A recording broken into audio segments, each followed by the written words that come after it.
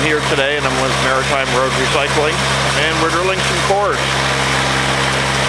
We're uh, working on a, a, full depth recycling project so what we're doing here today is we're drilling the, uh, the cores for the uh, mixed design. So we're, uh, we're using a trailer mounted uh, diesel powered drill here to drill these 8 inch cores. Cores have been running around 11 or 12 centimeters uh, in thickness down to the uh, aggregate that's underneath.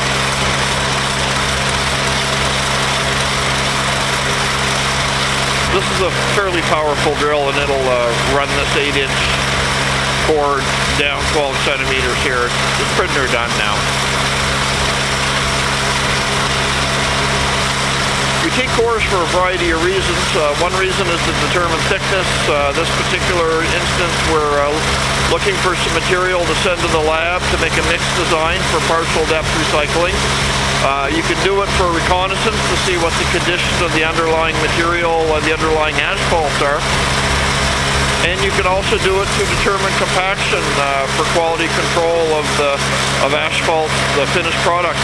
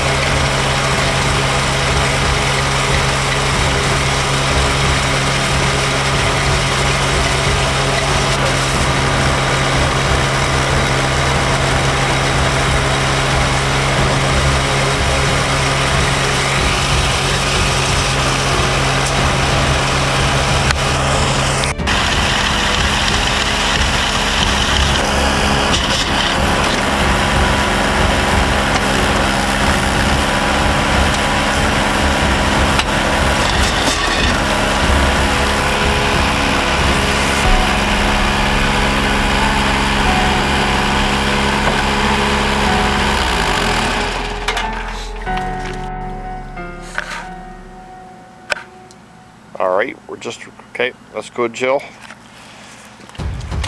So we just got finished drilling the core. We're gonna put it in a bag.